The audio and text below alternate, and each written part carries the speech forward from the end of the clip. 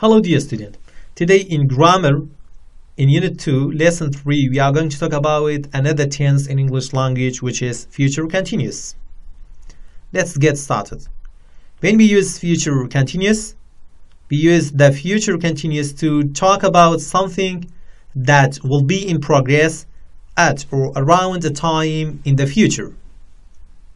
Look at this example. They will be preparing for the exam this time next week. This is future continuous tense. And also we have some time expression that they can be used with the future continuous which is or which are today, tomorrow, soon, later and next week or year. And now let me show you what are the forms of future continuous. This is the positive form of future continuous. We have subject at the beginning and then we have will be. After will be, we have verb ing and then we have the rest of the sentence or we can say the complement. We have example here. I'm little hungry. I will be eating a pizza. This is future continuous. We have will be and after will be we have verb ing which is eating. The second example, she will be preparing for the exam.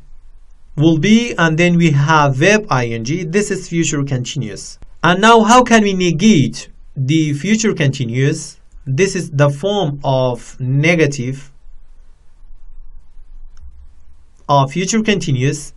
We have subject as we said at the beginning and then we change will be to uh, or we can say we add not to uh, this um, expression will be we say will not be after will not be also as we said we have verb ing and then we have complement. It means we negate the sentence by adding not to all. I'm too tired. I will not be going out tonight. Will not be and then we have verb ing. This is the negative form of future continuous. Another example, they will not be playing volleyball. They will not and then we have verb ing. This is future continuous in a negative form. And now let's talk about the question form of future continuous. How can we make the question form for future continuous? Uh, we move will and put at the initial or at the at the beginning of the sentence before the subject. Uh, after subject we have be and then be followed by verb ing and then we have complement. But be careful uh, when we talk about the question form we have question mark at the end of the sentence. Look at these examples. Will you be preparing for the exam? We have will at the beginning. Another example, will she be cooking for dinner? This is the question form for future continuous. And also we have WH question form we put WH question words at the initial before will, I mean at the beginning of this sentence.